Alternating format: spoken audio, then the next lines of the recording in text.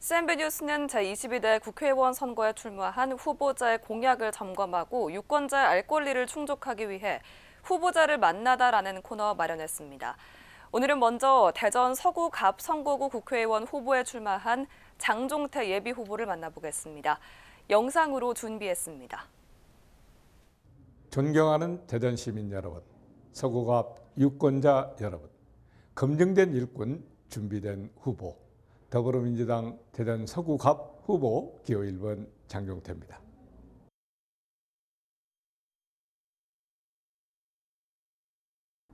국회의원은 젊음이나 패기로만 할 수 있는 것이 아닙니다. 능력과 실력, 경험이 반드시 필요합니다. 저는 재선 구청장을 지낸 검증된 일꾼입니다. 경험과 실력을 갖춘 준비된 후보입니다. 구청장 시절 매니페스토 공약형 평가에서 7년 연속 최우수 등급을 받을 정도로 약속을 철저하게 지키는 사람입니다. 사실 이 자리에 오기까지 많은 어려움이 있었습니다. 뼈아픈 질책도 진심 어린 격려도 마음속 깊이 새겼습니다. 저 장종태를 믿고 지지해 주신 주민 여러분께 이제는 제가 희망을 드리고 싶습니다. 밥값하겠습니다라는 제 약속은 정치인 장종태가 할 수 있는 가장 진솔한 약속입니다. 누구나 할 수 있지만 아무나 지킬 수 없는 약속. 반드시 바꿔가는 국회의원이 되겠습니다. 저는 우리 서구에서 50년을 살았고 서구갑에서 30년 이상 살았습니다. 40여 년 공직 생활도 대부분 서구에서 했습니다. 우리 지역을 누구보다 잘 알고 있다고 자부합니다.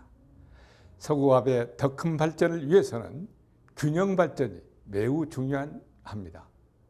그래서 저는 우리 서구갑을 원도심권, 신도심권, 도농 복합권의 세개 권역으로 구분하고 지역별 특성에 맞는 발전 전략을 공약에 담았습니다.